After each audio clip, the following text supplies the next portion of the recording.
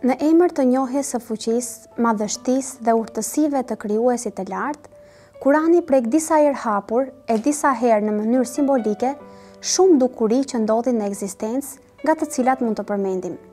I dërguam erërat si mbarështuese dhe zbritëm ujë nga qielli, Dhe kështu ju dhamë ujë, ndryshe ju s'mund ta mblidhni ujin.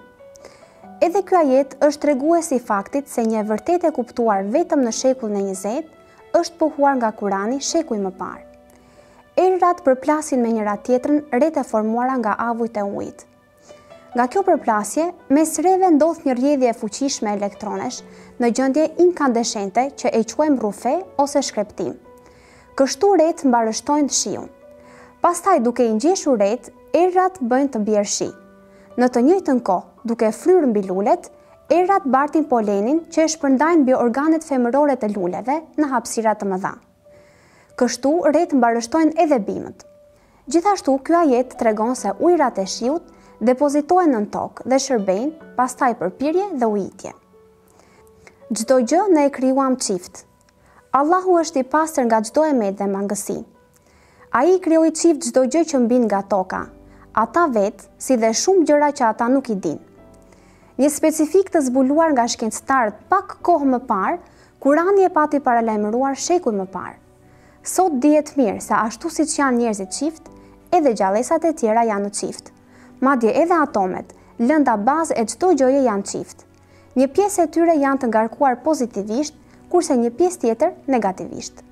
Veç kësaj, ky dualitet e tregon veten në një formë të ndryshme te çdo gjë, në tërheqjen dhe shtytjen brenda vetë gjërave. Kurse në ajetin e dytë, tërhiqet vëmendja për ekzistencën edhe të gjërave të tjera të panjohura për njeriun e asaj dite. Ne e ngritëm qiellin dhe ne e zgjeruam atë pa ndalim. Në këtë ajet të Kuranit, më shumë se 1400 vjet më parë, diskutohet për çështjen e zgjerimit të hapësirës, e cila vazhdon ta ruajë peshën në katedrat shkencore. Edhe dielli do të vazhdojë gjer për një kohë të rrotullohet rreth boshtit të vet. Shekuj më parë, pavarësisht se ç'thoshte kozmologjia e vjetër, Kurani bënte të ditur se dielli s'ishte i palëvizshëm, përkundrazi, rrotullohej rreth boshtit të vet.